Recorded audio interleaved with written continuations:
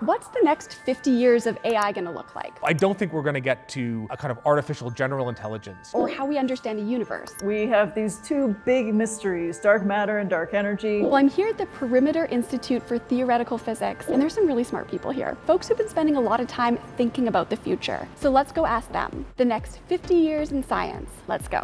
I talked about the creation of the superhuman, so that's looking like 50 years ahead. I'm going to be looking at advances in human-machine interfaces and how they're going to allow wearable soft robots to become part of everyday life. There are a lot of exoskeletons out there, but they're big and clunky. So what we want is to develop them in such a way that they're very unobtrusive and they're not just allowing them to perform as well as we do right now, but actually enhance performance. I think that AI in the next 50 years is going to become increasingly lifelike, but that doesn't mean it's going to be like a human. It's not going to be alive. We're going to see a lot of debates, a lot of fights actually about how much AI we should have in our lives, who gets to control it, who gets to build it. You know, I don't think we're going to get to a kind of artificial general intelligence, you know, kind of super AI. I don't think we're going to get there in the next 50 years. So the question really will be, how are these kind of little AI systems, how are they being used and uh, how are they not being used? I think that we will get closer to understanding what the universe is really made of. So dark matter is some kind of invisible stuff. It holds the galaxy together, and I want to know what it's made of. And we have a bunch of ideas having to do with different kinds of particles that maybe might exist. Some people even suggest maybe tiny black holes could be dark matter. Over the years coming, we will be able to answer some of those questions, or at least rule out more of the possibilities. We can imagine a future where a tremendous amount of our food comes from large stainless steel vats, and that this can all be done with a very small environmental cost. One of the technologies that I think will be absolutely amazing is called precision fermentation. Now we all have a sense of what fermentation is. Little tiny microorganisms eat sugar and create alcohol. Uh, scientists increasingly can use microorganisms to produce all sorts of things. Dairy proteins, pork fat,